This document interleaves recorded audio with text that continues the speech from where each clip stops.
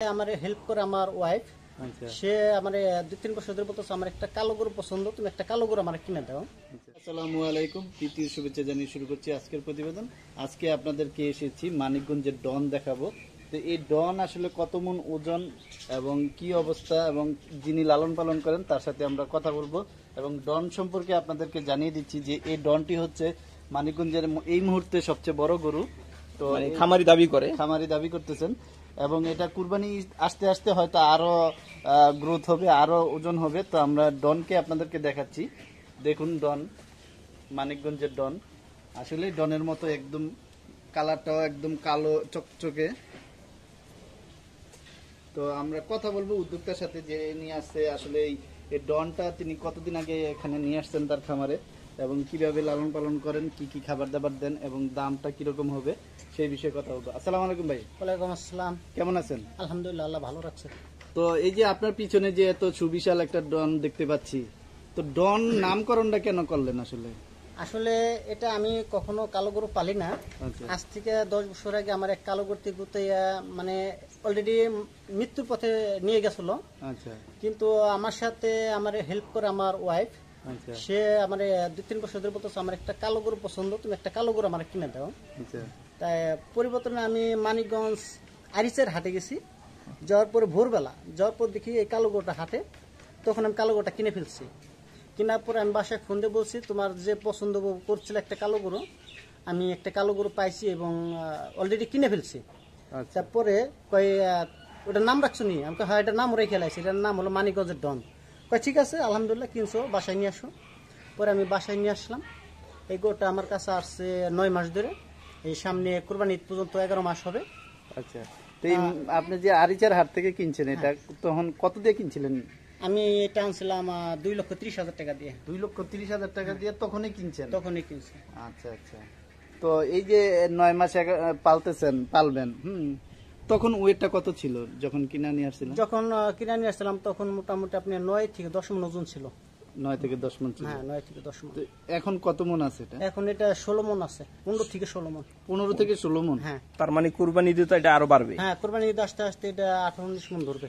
তো এটা যে নামটা রাখছেন নামটা কেন রাখছেন? এটার নাম দেখা গেল কি বড় বড় একটা নাম রাখলে নামের পর অনেকটা বিক্রি হয়। হ্যাঁ হ্যাঁ হ্যাঁ। এখন এই উপলক্ষে আমি এটার নাম রেখে দিছি যে মানিকগঞ্জের ডন তো ডনটা কেন রাখা হয়েছে ডনটা যেমন একজনে বিগ বস রাখে বাংলার বস রাখে এটা আমি মানিকগঞ্জের ডন এই নামটা রেখে দিছি আমার ডিস্ট্রিক্ট মানিকগঞ্জ আমি মানিক ডিস্ট্রিক্ট সাথে করে এটার নাম রেখে দিছি আপনার কি মনে হয় মানিকগঞ্জে এর চেয়ে বড় গরু নাই? না আমার ধারণা এর চেয়ে বড় গরু নাই। এর চেয়ে বড় গরু নাই? না।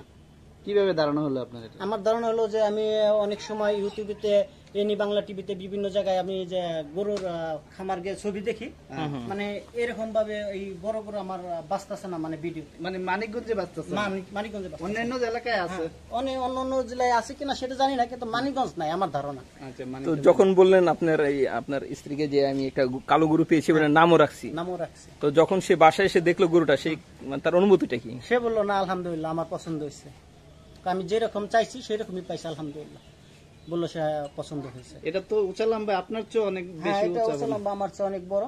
তবে যে নাকল ছিল না আমি যখন আনছি মানে ওই যে আমার যে কালো গতি গুতেই ছিল হ্যাঁ। এই কারণে আইনা সেরকম নাকল দিছি মানে ওই দিন আমার আক্রমণ না করতে না পারে। করতে পারে। এখন আপনার সাথে কীরকম ব্যবহার করে এখন ও মোটামুটি ভালো ব্যবহার করে। ও পছন্দ করে কাকে?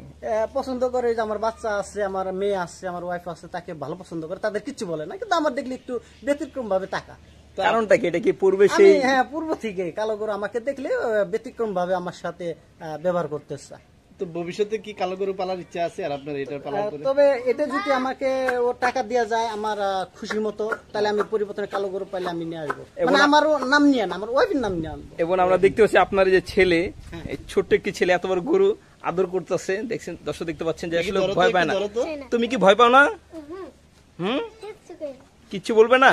ওই যে আমার ছেলেকে কিচ্ছু করে না। তুমি ভয় পাও না? একটু ভয় পাও না? ভয় যে কি সুন্দর করে ধরে আছে আমি একটু আগে বললাম যে আমাকে আমার বাচ্চাকে কিচ্ছু করবে না। আচ্ছা কিন্তু আমি ওর কাছে গেলে একটু নাড়াচাড়া দিবে। তো খাওয়া দাওয়া সম্পর্কে একটু বলেন কি কি খাওয়া? সম্পর্কে আমি ওকে দুই টাইম ও যা পারে যত দূর পারে আমি দেই। পাশে দেখা গেল আপনি যে গমের চাটনি চাউলের গুঁড়া আর ওই যে আপনি চাউলের খুদ গম ভুট্টা আর হলো পায়রা এই তিন এই কয় মিক্সার করে খাওয়াই এবং আমরা দেখতে পাচ্ছি আসলে এই গরুটি মানে চিকচিক করতেছে। কালো এলেও খুব চিকচিক দর্শক দেখতে পাচ্ছেন যে খুবই পরিষ্কার। এবং ঘন্টি কি সব করে দিচ্ছেন হ্যাঁ গুনটি আমি বাসায় এনে গুনটি দিচ্ছি ঘন্টি দেওয়ার কারণ কি? ঘন্টি দেওয়ার কারণ অনেক জোরে জোরে কান নাড়াচাড়া করে। নাড়াচাড়া করলে ঘন্টির সাথে সাথে বাজে হাতির মতন শব্দ হয়। আচ্ছা আচ্ছা। তো আমরা একটু দামটা সম্পর্কে আসি। কি প্রত্যাশা করতেছেন এবারে কুরবানিতে? এটা আমি প্রত্যাশা করতে আছি যে আমি ঈদের মধ্যে এটা সাড়ে পাঁচ লক্ষ টাকা বেচতে পারলে আলহামদুলিল্লাহ। সাড়ে পাঁচ লক্ষ টাকা? সাড়ে পাঁচ লক্ষ টাকা। আচ্ছা। তো এই পর্যন্ত কেউ কি দাম টাম বলছে বা কোনো না এর আগে আমি একটা চ্যানেলে যে একটা ভিডিও ছাড়ছি কিন্তু মাঝে মাঝে ফোন দেয়। হ্যাঁ। বলছে যে ভাই আমি কোরবানিদের সামনে সামনে আসব। আমাকে দামটা বলে দিবেন ঠিক আছে আসেন। যার ভাগ্য আছে যার কপাল আল্লাহ লিখছে সে নিয়ে আচ্ছা আচ্ছা মানে কেউ দাম জিজ্ঞেস করে না ফোন না না দাম জিজ্ঞেস করে না। আপনার ভিডিওটা দেখছি গোটা অনেক পছন্দ হয়েছে গোটা আমাকে বলে দিবেন। মানে এরকম কথা বলে। মানে আমার লাগে রাখা দিবেন এরকম হ্যাঁ, বলে যা এরকম হ্যাঁ হ্যাঁ। দাম যাই হোক দাম যাই হোক। না গরুটা অনেক সুন্দর অনেক অনেকের পছন্দ হবে। তো ভাই আপনারা আশা করি আপনি আসলে প্রত্যাশা অনুযায়ী একটা দাম পান এবারে কুরবানি ঈদে। সেই প্রত্যাশাই রইল আপনার প্রতি। আপনি ভালো থাকবেন আসসালামু আলাইকুম।